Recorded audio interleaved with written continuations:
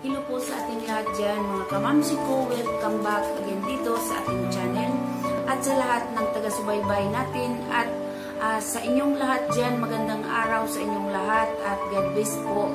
At ingat po kayo palagi kung saan man kayong dako sa mundo hangad kung nasa mabuti kayong kalagayan. At gusto kong i-share sa inyo ang isa na naman po nating mga pampaswerte at gabay sa ating buhay. Ito po mga mamsi ang ating isi-share ngayon ay, ay isasampol ko lamang po sa inyo. Halimbawa mga mamsi, ito po ay hindi na po natin patagalin. Dito po sa ating gagawin mga mamsi ay ah, gagawin po natin ito. Kumuha po tayo ng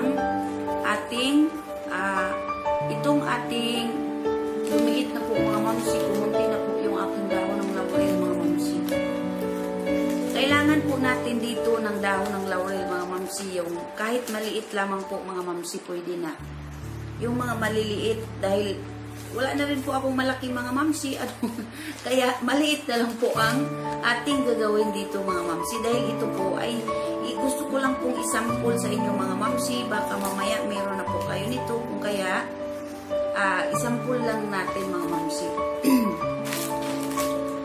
Dahil ito pong ating dahon ng laurel mga mamsi, ito po ay tinagurian na ah, naghahatak ng kasaganaan sa ating buhay. Ganito po ang ating ah, dahon ng laurel mga mamsi, tatlong dahon ng laurel. At ganon din po mga mamsi ay kailanganin din po natin dito ng papel mga mamsi. Ito po ay sample ko lamang po sa inyo mga mamsi. Ito pong papel na ito mga mamsi ay atin po itong sulatan palibot. Palibot dito mga mamsi. Pangalan natin sa itaas yung totoong pangalan. At pagkatapos naman dito sa gilid mga mamsi, siguro i-square nyo na lang po ang ating papel mga mamsi para masulat ninyo ng buo ang inyong pangalan dahil sa gilid po kapag ka maliit lamang po mga mamsi ay ito po maliit lang hindi natin maisulat ang ating mga pangalan lalo na kung ang ating pangalan ay mga esperanza mga mahahaba mga mamsi at dito mga mamsi basta paligid pa, paikutan po natin yan ng buong pangalan natin mga mamsi ganun po isusulat po natin ang buong pangalan at pagkatapos mga mamsi ay ah, isulat din po natin ang ating ah, pizza kung kailan po natin ginawa. Dito po din sa itaas mga mamsi. At pagkatapos mga mamsi ay sumulat din tayo po dito ng halaga ng pera na kailangan natin. Isulat po natin dito ng halimbawa, ah,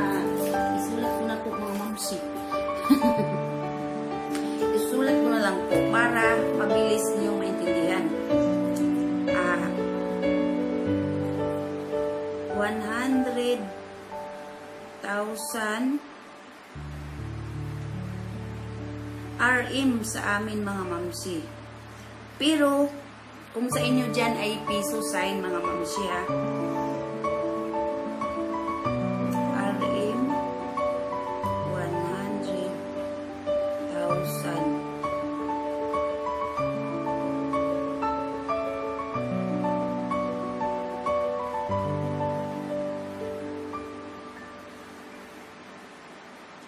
At pagkatapos, kayo na pong bahala dyan mga mamsi ha. Ipa- Pinapakita ko lamang po sa inyo.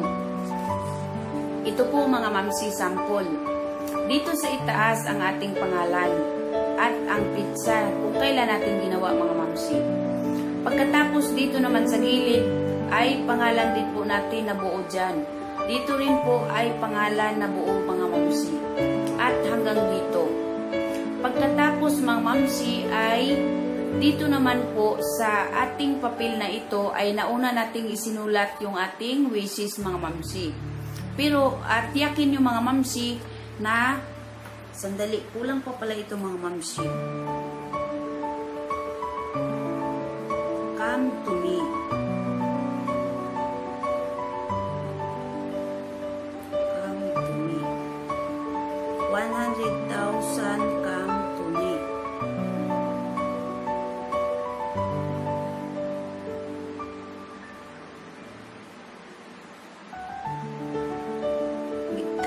ating siguraduhin mga mamsi. Mabuti na alala ko pa dahil nga po ako po ay makalimutin. Pagkatapos nito mga mamsi ay, ayan na mga mamsi, sinulat ko na po ng buo.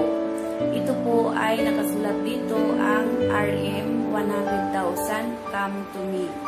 Uh, tatlong basis po natin itong isusulat mga mamsi. Tatlong basis ang ating wishes dito.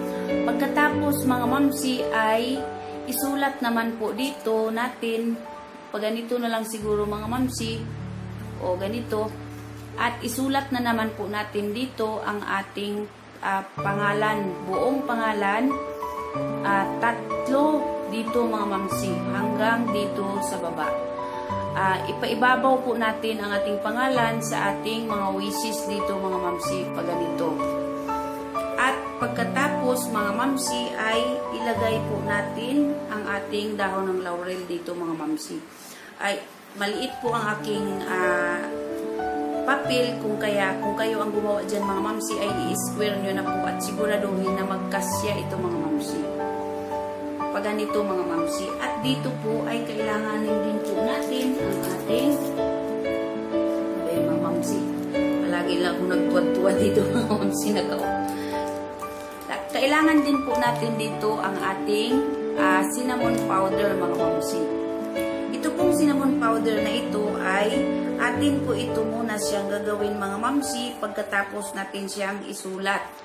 Pagkatapos natin isulat ang buong pangalan natin dito na nakapaikot at yung buong ating mga sinulat na yan ng mga wishes pagkatapos tatlong pangalan na nakaganyan mga mamsi. Tatlong pangalan, bali pito lahat na pangalan ang ating isusulat na yung totoo mga mamsi. At ang paggawa nito pala mga mamsi ay sa Friday at uh, Tuesday o kaya Sunday o kaya full moon or new moon. Pagkatapos nito mga mamsi ay budburan po natin ito ng ating uh, cinnamon powder. Ito po ay sample lamang mga mamsi.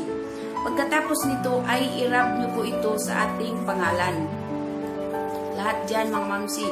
Paikutin nyo yun, padaanan nyo ang pangalan nyo na ihaplas nyo talaga yung ating cinnamon powder mga mamsi. At pagkatapos nito mga mamsi ay katulad ng sinasabi ko dahil ito po ay mga sample lamang kung paano ninyo gagawin mga mamsi kumuha kayo ng isang four-leaf clover mga mamsi isang four-leaf clover at tatlong dahon ng laurel dahil pagsamahin natin ang pinakamalalakas na mga uh, herbs sa mundo ng magic mga mamsi na kung saan ito po ang mga herbs na ginagamit natin dito.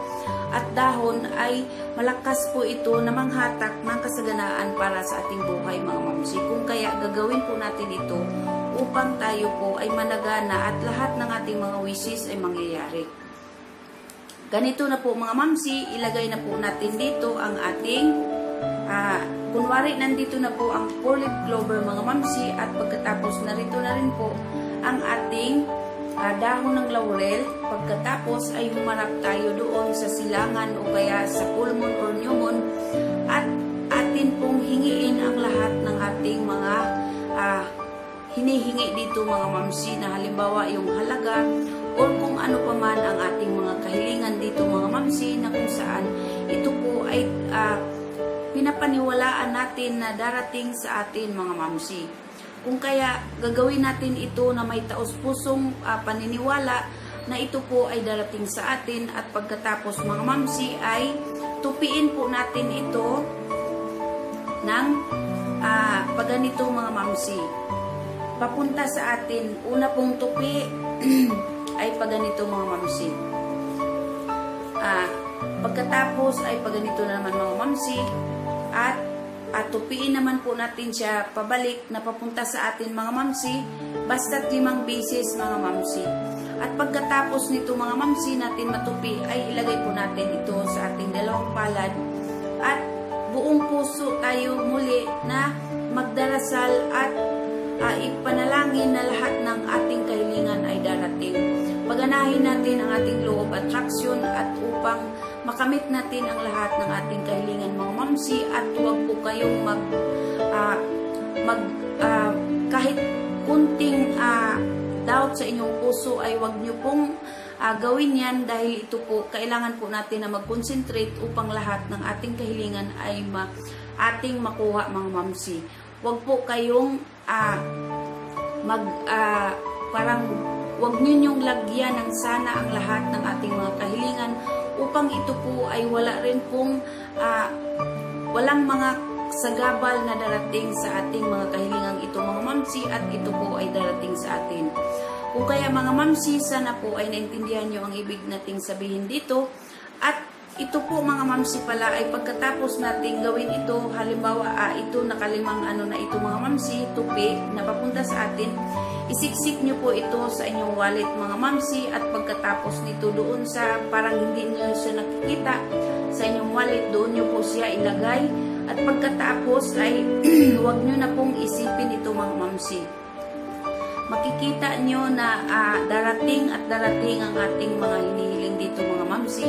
Ang mahalaga po, tayo po ay uh, siyempre nagsisikap din po mga mamsi sa lahat ng ating ah, buhay upang ang lahat ng ating ah, inaakit dito ay darating sa ating buhay mga mamsi. Kung kaya ah, sana ay ah, naintindihan nyo ang ating mga sinasabi dito.